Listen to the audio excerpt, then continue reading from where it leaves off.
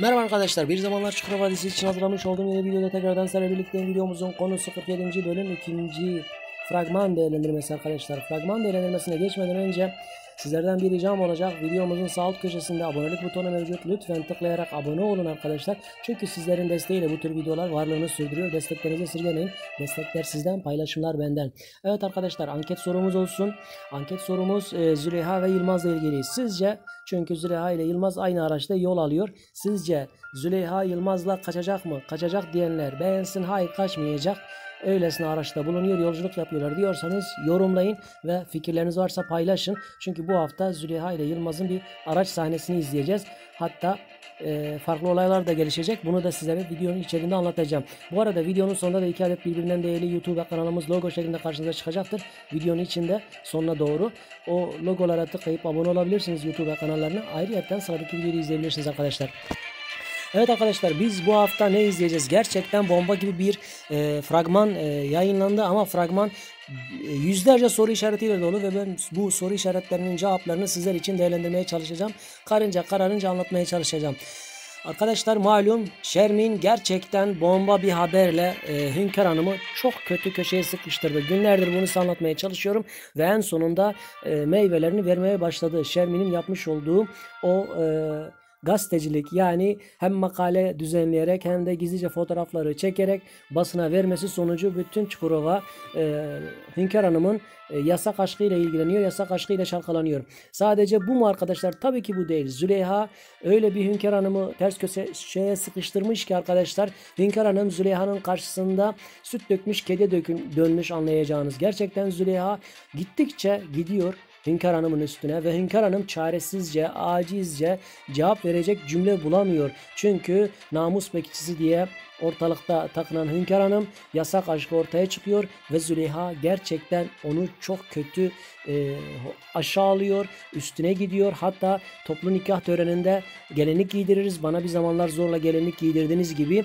anlayacağınız kaynanasına çok aşırı saldırıyor. Bir taraftan Züleyha tabii ki aynı zamanda diğer koldan da Yılmaz. Yılmaz aşağı kalır yanı yok. Hatta Demir'le kavga ediyor. Nasıl mı kavga ediyor? Gazeteyi bizzat Demir'e e, Yılmaz kendisi teslim ediyor. Gerçekten işin en komik ve en can alıcı noktası bu. Yılmaz'ın yemeden içmeden gazeteyi gördüğü gibi belki Hünkar Hanım gazeteleri toplattırmıştır. Görmeme olasılığım vardır diyerekten kendi iş yerine e, annesiyle Feykele'nin çıkmış olan haberini Demir'e teslim ediyor. Ve Demir o anda hem şok hem şaşırmış ve Yılmaz'la kavga ediyorlar. Oradaki çalışanlar araya girerekten tabii ki onları ayırıyor. Sadece bu mu arkadaşlar? Feykeli'nin de tabii ki kalır yanı yok. Feykeli de direkt o çekil e, fotoğrafların çekilmiş olduğu kafeye gidiyor ve oradaki çalışanların hepsini topluyor. Neredeyse onları ölümle tehdit ediyor. Niçin bu fotoğraflar çekildi? Kim çekti? Çünkü şu an için kimin çektiği bilinmiyor arkadaşlar. Anlayacağınız bu fotoğraflar e, belirli bir sürede bilinmeyecek. Ben bunu atlamışım. Tabii ki bunu da itiraf edeyim sizler için. Gerçekten anlayacağınız şu an için Şermin güvende. Neden mi güvende? Çünkü şu an kimin çektiği bilinmiyor. Tabii ki ömür boyu e, bilinmez olarak da kalınabilir. Neden diye soracak olursanız çünkü Şermin bunu posta yoluyla gazeteye gönderiyor ama kimin gönderdiğini de açıklamayabilir. Yani gönderici ismini boş bırakmış olabilir ve anlayacağınız bu fotoğraflar gündemde çalkalanırken Şermin'in çektiği bilinmeyecek ve Şermin şu an için güvende olacak. Gerçekten birkaç e, yapmış olduğum fragmanda ben bunu e, atlamışım. E, tabii ki sizlerden özür diliyorum arkadaşlar. Çünkü bazen e, gözden kaçırabiliyoruz. Ama anlaşılan o ki Şermin'in yayınladığı bu haber şu an için hiç kimse tarafından bilinmiyor. Tabii ki bilen kimdir? E, Hatipa ve Şermin. Belki Hatipa'ya da söylemez. Çünkü Şermin dedi ki ben ona öyle bir şey yapacağım ama Hatipa'yla da açıklamadı. Yani detaylara girmedi. Anlayacağınız şu an olayı yapan Şermin ama olayın arkasında kim olduğu bilinmiyor. Ne Hünkar Hanım tarafından ne Feykeli tarafından bilinmiş olsaydı Feykeli iş yeri çalışanlarını bir araya toplayıp silah tehdidiyle ölümle tehdit etmezdi. Yani biz bu bölümde bunu da izleyeceğiz arkadaşlar. Aynı zamanda Yılmaz'ın e, Demir'i aşağılamalarını da izleyeceğiz. Annesinin ne kadar e, kötü bir kadın olduğunu verası yani hem Züleyha tarafından hem Yılmaz tarafından gerçekten e, iki koldan Yamanlar yani bir taraftan Hünkar Hanım bir taraftan Demir e, zora sokulacak ve e, aşağılanacaklar. Tabii ki toplumu saymıyorum. Bunlar birisi aile içinde birisi de komşusu olarak bunları zora sokmaya çalışacaklar Yılmaz ve Züleyha. Aynı zamanda bunlar mı olacak? Hayır arkadaşlar arkadaşlar. Bunlarla birlikte e, başka olaylar da gelişebilir. Artı e, de Yılmaz'ın e, Müjgan'la yapmış olduğu bir konuşma var. E, Feykeli babam artık Yamanlarla sulh yoluna gitti. Yani anlayacağınız o geçmişteki rakabetimiz bitti diye bir cümleler kullanıyor. Acaba Yılmaz e, bu Feykeli'nin evlilik teklifi olayı üzerine bu cümleleri kullanıp artık Feykeli olan itibarını, güvenini yitirip e, Feykeli'den ayrı bir şekilde mi bir cumhuriyet kurmaya çalışacak veyahut da oradan uzaklaşmaya mı çalışacak? Burası biraz muamma arkadaşlar. Tabii ki bu konuda fikirleriniz varsa, görüşleriniz varsa belirtebilirsiniz. En azından e, atlamış olduğumuz, gözden kaçırmış olduğumuz farklı noktalar varsa değinmeye çalışacağım.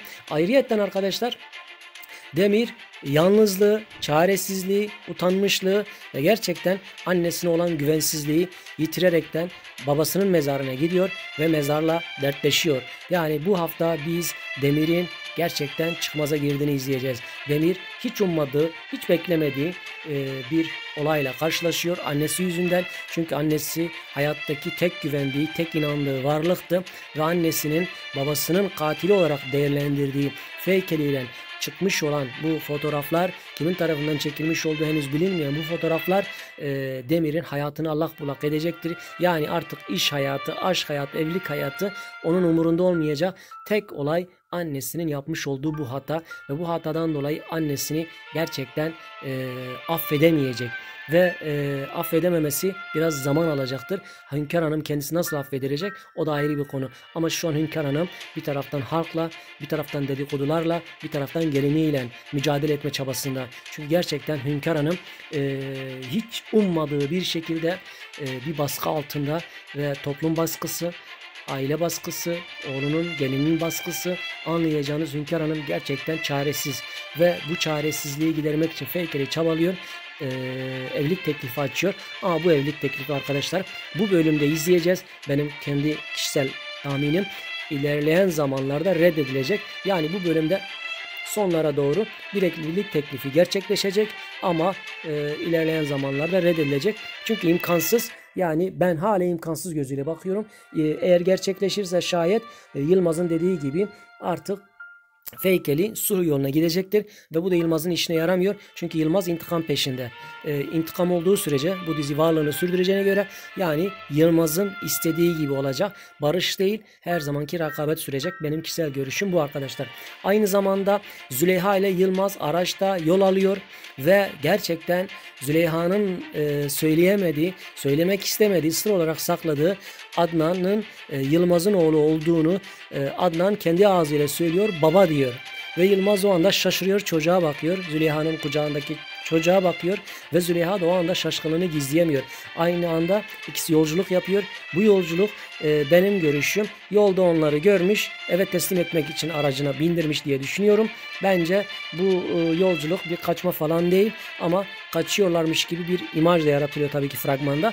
Benim görüşüm kaçma şu an için e, kesinlikle askıda yani olmayacak arkadaşlar. Şu an normal Züleyha kendi hayatını, Yılmaz kendi hayatını tabii ki komşu olarak sürdürmeye çalışacaklar ve e, büyük olasılıkla Züleyha yolda kalmıştır. E, çocuğuyla birlikte Yılmaz da insanlık namına eski sevgilisini e, aracına bindirip eve getirmeye veyahut da çarşıya getirmeye çalışacaktır arkadaşlar. Ben bu görüşteyim. Benim düşüncem bu. Ee, tabii ki sizlerin farklı görüş ve düşünceleriniz varsa arkadaşlar paylaşabilirsiniz. Ee, bazı arkadaşlar eski sevgili dememe alınıyor. Eski sevgili değiller diyor. Arkadaşlar eski sevgililer. Çünkü şu an yani benim görüşüm, benim fikrim bu. Çünkü Yılmaz şu an Müjgan'la evli ve Züleyha'nın yalan konuşmasından dolayı. Çünkü Züleyha yine her zamanki gibi korktu, gerçeği itiraf edemedi, Yılmaz'a olan aşkını dile getiremedi. Çocuğunu düşündü, Yılmaz'ı arka plana attı ve Yılmaz'a yalan e, masallar okuduğu için Yılmaz ondan umudunu kesti ve Müjgan'ın sevgisine karşılık verdi. Müjgan'la evlendi. Her ne kadar e, Züleyha'yı sevdiği kadar sevmese de Müjgan'ı sevdi ve Müjgan sayesinde biraz hayata tutunmaya çalıştı. Haliyle Züleyha onun için eski sevgili. Benim görüşüm bu. E, tabii ki farklı görüşlere her zaman saygım sonsuzdur. Yine de sizler görüş belirtebilirsiniz. Sonuçta Müjgan'la evli. Züleyha ile evlenemedi, kavuşamadı. E, belki Hünkar Hanım'ın e, oyunları, Demir'in oyunları, Züleyha'nın korkuları derken kavuşamadılar. E, sizce gerçekten eski sevgili mi değil mi? Bunu hepimiz bir yorumlarda tartışalım istiyorsanız. Yani e, tartışılmaya, yorumlanmaya açık bir konu. Yine de görüş belirtebilirsiniz. Ama benim gözümde ben her zaman onları eski sevgili olarak göreceğim. Çünkü kavuşamadılar. Sevgileri bitti. Zorla bitirildi. Ve Züleyha da tabii ki bunu ortam yarattı. Her zaman çocuğunun korkusu, çocuğunun baskısı derken Yılmaz'ı biraz öteledi. Arka planda bıraktı. Ama Yılmaz da yani Züleyha'nın istediği tek şey neydi? Porta kal orada kal. Canım çektikçe seni koklayacağım olmuyor. Yılmaz'ın da bir düzeni vardı ve o düzenini korudu ve bunu Müjgan'a borçlu. Her ne kadar şu an hala gönlü Züleyha'ya kaysa da bence e, Müjgan onun e, Müjgan'a saygı duyması lazım. Müjgan'ı daha çok sevmesi lazım. E, Züleyha da tabii ki yani baya bir karışık olay olduğu için Züleyha'yı da bırakamıyor, vazgeçemiyor. Yani anlayacağınız iki derede bir arada ama bence bu mutluluğu hak eden şu an için dizi icabı dahi olsa Müjgan'dır. Züleyha çünkü elindekini korkularından dolayı tutamadı. Benim kişisel görüşüm bu. Yine de farklı görüşlere her zaman saygım vardır. Görüş ve fikirlerinizi belirtebilirsiniz. Evet arkadaşlar 47. bölümde izleyeceklerimiz bunlardan ibarettir. Yani anlayacağınız toz duman birbirine karışıyor. Gerçekten baya bir yamanların sıkıştığı anı izleyeceğiz. Hep birlikte sabırsızlıkla bekleyeceğiz arkadaşlar. Ama e, tabii ki diziye doğru giderken farklı paylaşımlarım olacaktır. Kulağınız, gözünüz bende olsun arkadaşlar. Takip etmeye devam edin. Abone olmamış olanlar varsa abonelik butonuna tıklasın. Videonun sağ alt köşesinde abone olduktan sonra bildiri butonunuzu açmayı unutmayın arkadaşlar. Çünkü daha sonra paylaşacağım videolardan daha erken haberdar olursunuz. Kendinize iyi bakın. Hoşça kalın. Dostça kalın. Yeni videolarda görüşmek ve buluşmak dileğiyle esen kalın. Sevgiyle kalın arkadaşlar.